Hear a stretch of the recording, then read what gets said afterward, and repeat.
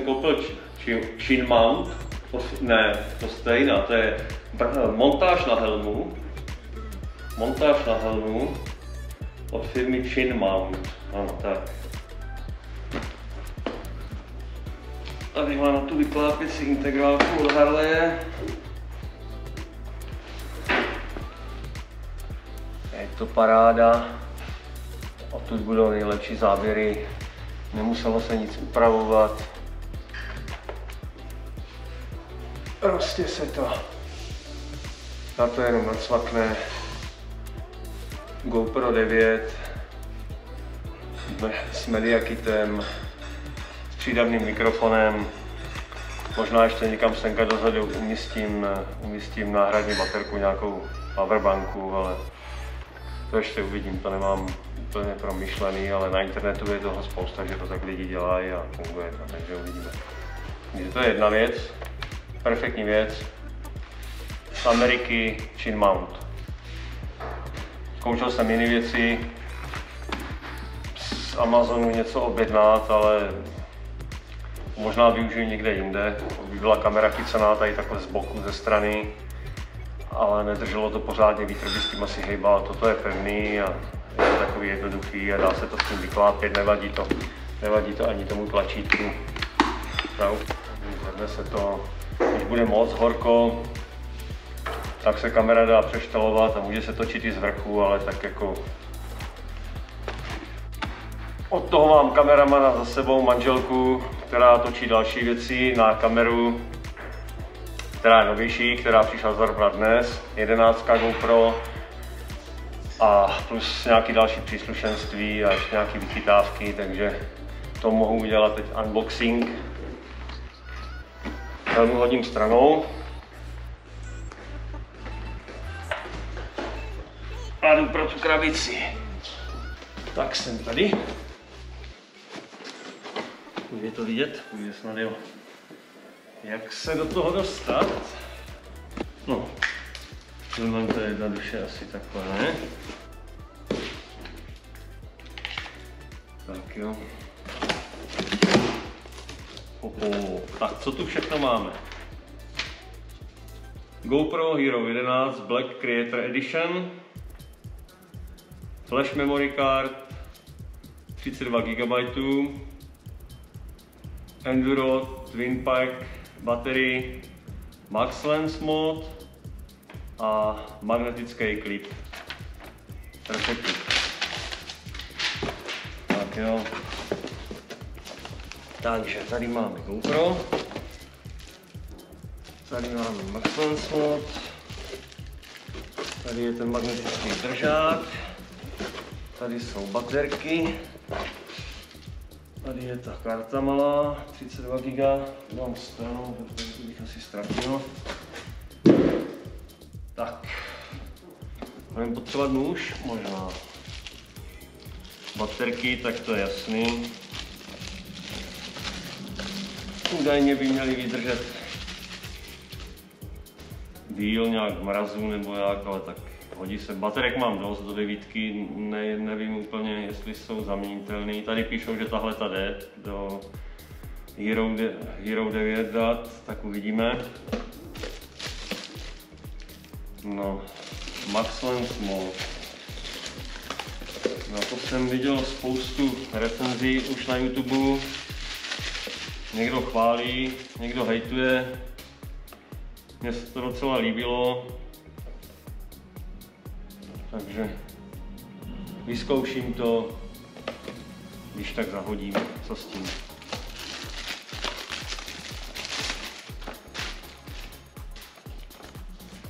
Magnetický držák, ten mám v plánu, že u druhé kamery, kterou bude točit manželka, když budu chtít záběr na nás, tak prostě mi podá kameru, jenom to předsvaknu na přední sklo, natočím kameru na nás a budou zajímavější záběry, ať můžou být prostřihy, ať to není furt jenom z jednoho úhlu. Rozhodl jsem se, že letos budu natáčet videa eh, vlastně z té helmy, eh, z bradové části. aby šlo pěkně vidět náklony, náklony a užít si prostě tu, jízdu na motorce. No a do toho manželka tady novější kamerou bude točit z místa spolujezdce různý další záběry, co jí se budou zrovna líbit. A nebo když někde už zastavíme, tak nechám na ní prostě takový ten vlogging klasický, když už někde jsme v nějaké destinaci, tak ona bude mít na starost to a já se budu starat jenom o tu jízdu, o natáčení jízdy, protože to je to, co mě baví. Nějak inteligentně do toho vést. Tady. Tady, tady.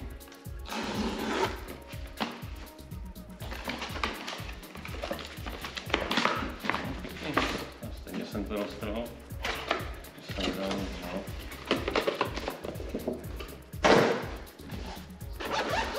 Tady to je. No, to už se hodí takový kufřík. Je to větší, tam se toho vleze podstatně více.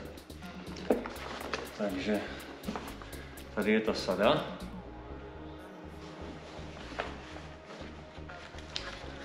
To jsou nějaké nesmysly tady, to si proštudujeme později. Takže, co máme vevnitř? Media mod, perfektní. Nedávno jsem koupil na, na devítku u nás, stál asi 2300 korun. Bylo to dráž, až potom jsem se rozhodl, že tady tenhle celý set koupím eh, na eh, GoPro.com, na originálním obchodě, což teda doporučuju, protože to tady vlastně bylo třetí den doručený, když doručený. Tady to bylo samozřejmě, dneska to mělo být doručený, poslali mi zprávu UPS, že UPS, UPS říkám to správně, uh, že byla změna v doručení, že to doručí zítra, tak jsem si tam zavolal a musel jsem si to vyzvednout osobně, nevím, prostě v Česku zase problém. Ale tak mám to doma, je to paráda. No, tak tady je jedenáctka. Vypadá nějak menší, ale mělo by to být stejně jak ta devítka.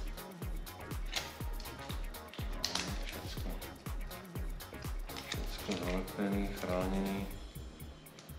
No, no, to.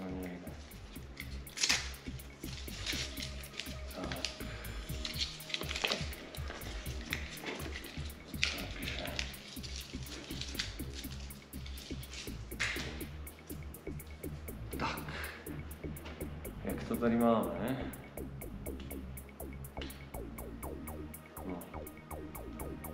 Z předního displeje teda nálepka, ale jo, podaří se natrhnout, dobrý. Takže kamerka, GoPro 11, Media Kit, tom. No, jelikož loni si manželka neustále stěžovala, že se jí špatně zapíná ta kamera, což věřím, protože ona na to měla takový ten krátký, se to jmenuje, krátký držáček, jenom co k tomu nabízeli k device a musela neustále zapínat kameru takhle z vrchu a z boku, takže to nebylo úplně ideální na té motorce. Takže jsem si řekl, že toto bude, toto bude ono. Vlastně hodí se to do toho mediakitu, připojí se to, v tomto je ještě baterka, mělo by to vydržet nějakých 5 hodin nebo kolik parametry mě nezajímají. To je všechno na internetu, toho už je mraky. Každopádně tady se to připojí a dá se to ovládat tady z tohoto. Uvidíme, jak to bude fungovat. Zase viděl jsem spoustu rozporuplných, rozporuplných uh, recenzí, ale tak každému vyhovuje něco jiného. Každopádně nápad je to asi dobrý, protože samotný Media Kit uh, je řešený tak, jak je řešený. Není to úplně, nebo není to vodotěsný, je to vodě odolný s tím částečně a funguje to tak vlastně, že se vysunou, že se vysunou uh, dvířka, dvířka od kamery. No, ty se snadno oddělají. Tady se hodí baterka s kartou vlastně a Nožičky musí být sklopený.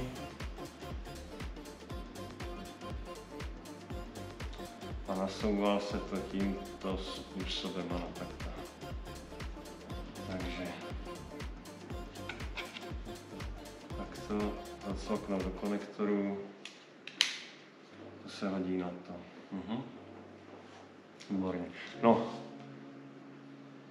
tady vlastně jsou zdířky nebo konektory pro zapojení HDMI třeba na monitor přímo, jako, že se dá ta kamera využít vlastně jako webka. No a hlavně co tady je, tak externí napájení plus vlastně možnost stahování videí a ten externí mikrofon, který je důležitý, pokud teda chceme za jízdy natočit nějaký kvalitní zvuk, a, ať už mluvené slovo, anebo teda hlavně výfuky, že jo. Čočka klasický oddělávací, to se potom nahrodí buď tím media modem, anebo si ho nechám na té GoPro 9, na kterou točím, aby zůstávaly pěkně ty záběry eh, v linii horizontu vlastně, což je výhoda toho Max Lens modu, že vlastně ta kamera může být přetočená libovolným směrem a neustále to drží prostě tu, tu rovinu a je to širokou uhlí. Uvidíme, jak, jak to ještě použiju, vyzkouším, pokud se mi to zorný pole nebude líbit, tak to nechám manželce na té nové kameře, tady na té jedenáctce, aby ona případně mohla třeba za jízdy točit, já nevím, dát prostě ruku stranou a točit eh, záběr na přední kolo, na motor, ze silnicí prostě a tak a nemusela si hlídat, jak má kameru natočenou, prostě natáhne ruku od sebe a záběr bude vlastně pořád v linii horizontu, takže to mě přišlo jako skvělá věc, uvidíme. Co tu máme ještě? Jo, Media Kitu byl dále přísvít, který se vlastně nasadí sem nahoru. Tam je asi baterka. O, svítí pěkně. Tak se to lípne. Održení. Mhm. Zajímavé. Teď jsou z toho úplně slatý teda.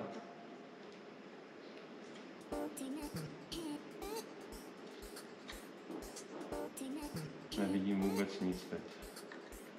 Vlíkl jsem si do očí, svítí to úplně šíleně. To jsem si myslel, že nějaký infra svít nebo něco. Ale to by asi nefungovalo, že. Musí to být na světle, když je méně světla. Vím, že na dovolené, když jsme točili, tak s, s tou devítkou byl docela problém, když se točilo na 4K, tak eh, ten obraz nebyl hezký, hodně se cukal, stabilizace tam nepomohla, jako nebylo to nic moc. Uvidím tadyhle na té 11, jestli to bude něco lepší, anebo případně, že třeba pomůže ten přísvít, ale to je taková blbůstka k tomu navíc, kterou jsem ani nevyžadoval. Tady je baterie.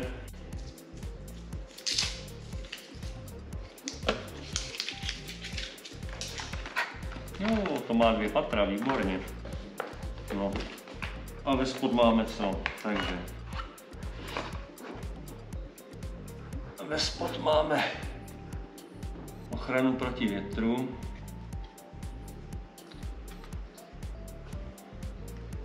Na to jsem hodně zvědavý, protože na klasickou, na klasickou devítku nebo bez, na tu GoPro kameru bez toho media modu teda nebylo v podstatě vůbec možné točit z motorky, to se člověk rozjel nevím, více jak 15 km hodině a byl prostě slyšet vítr, už to bylo nepříjemný, proto jsem do videí dával dával muziku, ale za to má pořád hledat nějakou hudbu, která je prostě nějaká příjemná a hlavně že u Harley jde o ten krásný zvuk motoru, takže proto bych chtěl, aby byl, aby byl slyšet prostě zvuk motorky a, a ne dávat nějakou muziku do videí. Jsou tady připojovací kablíky, jo, tady jsou náhradní, tady jsou náhradní e, dvířka, pokud bych nepoužíval ten media mod, kde vlastně jsou původní dvířka odstraněny, tak se dají náhradní dvířka, které jsou průchozí na připojení, eh, na připojení tady toho konektoru z té, z té volty. Volta se to myslím jmenuje tady to. Tady nějaký držák na přilepení, tady nějaký další dva držáky ještě, jo. To je taková klasika. No, každopádně Co je na tím skvělý, proč objednávat, objednávat eh, z originál obchodu GoPro.com je asi každému jasný, alespoň v České republice, kde prostě obchodníci bohužel ráží nesmyslně cenu na vše a všechno, všechno očešou prostě o příslušenství. Takže tuším, že teď se dá sehnat za nějakých 18,5 tisíce tadyhle tenhle kit, kde je vlastně ta volta, kamera, jedna baterka a nic víc a vyjde to 18,5. Eh, já jsem tady za to vše zaplatil 742 euro, takže by to mělo být nějakých, já jsem na telefon to jedno, abych to myslím, že jsem to počítal 17 500 nebo 17 600 korun to bylo, s tím, že vlastně navíc mám dvě ty enduro baterie, uh, Mám tady ten Max Lens mod, který u nás prodávají taky tuším za 2300 korun. Potom ten držáček, který nevím už, jestli stojí 500 nebo 1000 u nás, ale prostě tohle to všechno stálo 742 euro. Jedinou podmínkou je vlastně mít eh, roční předplatné eh, na tu jejich službu, kde vlastně máte možnost využívat eh, neomezený úložiště a plus aplikaci prostě ovládání té kamery a takovýchhle věcí. Co je tam podstatný, ta sleva tam byla, nevím, to si každý spočítá, když, když mrkne na stránky, ale nějakých 250 euro, nebo kolik to dělalo, nebo 270 euro tím členstvím. A další věc je, eh, u toho členství můžete ještě ušetřit polovinu členství z té ceny, která je nějakých 49,90, 50 euro na rok, ale když, eh, když to členství si založíte eh, z mobilu, z mobilní aplikace, tak je vlastně poloviční. Takže za nějakých 25 téček, takže dalších 6 kg doma ušetřených. A celkově ta cena prostě byla vlastně 17 17,5 plus těch 600 to předplatný, takže 18 100 a máte k tomu věci tady za hromadu peněz navíc, takže to se asi vyplatí, plus to neomezené úložiště v té aplikaci, takže tak. Detaily, co se týkají té kamery, z hlavy si to nepamatuju, ale tak je to nová kamera, tak snad, snad budu spokojený. Snad budete spokojení vy s novými videí, uvidíme, kolik se toho letos projede. Loni jsme dali Španělsko, Itálii, Amalský pobřeží, párkrát Gardu. Jo, rok předtím tam byla Barcelona a zase Itálie a Španělsko, tam spíš na severu a Francie. Takže najezdili jsme za ty dvě sezóny přes 50 000 kilometrů tak doufám, že teď už jsme v tom trošku s manželkou sehraní, v tom natáčení a že videa budou zábavný snad. Není to nic jednoduchého, hlavně když je člověk unavený, myslet na všechno, aby měl neustále nabitý baterie, aby měl všechno sebou, aby nikde nic nezapomněl. Potom, až, až zpracovává videa, tak aby to mělo nějak hlavu patu, aby to bylo koukatelný. Klasika je, že člověk, když tomu má ten svůj vztah té cestě, tak by tam nejraději dal všechno, ale na to se zase nikdo dívat nebude, že? Takže uvidím, jak to bude. Každopádně teď budou dvě kamery. Jedna bude teda na, na přilbě, druhá bude u mýho baťušku, u mýho baťušku vzadu. A uvidíme, jak to bude vypadat. No. Případně ještě pořídím 360 Instu kameru, ale to až výhledově, protože to bych se z toho asi osral už potom s tím zpracováním. Už tak to se žere strašně moc času, videa na YouTube a v podstatě dokud, dokud se vám to nerozjede, že nemáte dost odběratelů, tak eh, to děláte i všechno zadarmo a, a stojí to prostě dost peněz a, a času, ale tak když nic, tak je, je to aspoň zábava.